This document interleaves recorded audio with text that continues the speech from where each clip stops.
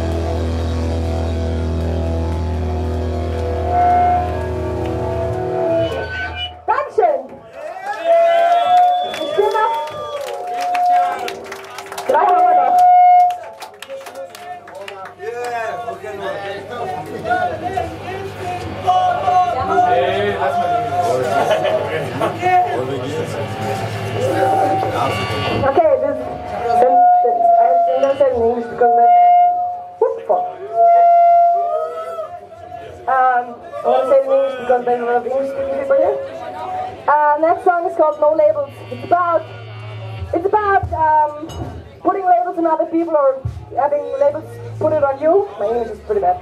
Um, like you have tits, that's why you're a girl, or you have a penis, that's why you're a boy. But come on, that's that's not the thing, you know. Like there's so much in between, and we should stop judging people or putting people into drawers. Ah. how they look or how just like they appear. You know, fuck off. That's super stupid and we are this kind of super cool punk scene trying to be so open and different. But come on, like homophobia, like just like Ryan said, homophobia is so much it's still so much in the scene which really, really sucks. So and then there's this story I wanted I wanted to tell this. Like my friend, we we we actually can you stop the fucking beep? No, no, no, no, no. Okay. We were doing this um, burlesque show. We were doing this burlesque show at a queer femme event, which was really, really cool. There were so many super cool acts and stuff. But then there was my friend, who's, who calls himself a boy. At least has a penis and a big belly, but he's super cool guy. He came to that show. He just wanted to see it. And like, he was standing at the bar, drinking something. There was these girls coming up to him like, are you here to watch our tits? Like, really stupid? And he was like, no, I'm not. He just wanted to see us, you know? So it's on both sides actually. I think you know everybody should think about judging people just because they have penis or just because I don't know, you know, lesbians don't really look like boys all the time. Or or whatever, you know what I'm talking about. Just because you're gay doesn't mean you wear makeup. You know? Like whatever. This these things, it's these stereotypes that we have in our head and it's really stupid. So shut up. I mean we want to be and everybody will be happy. okay, sorry, that's it. That's what I wanted to say. The longest speech I've ever done.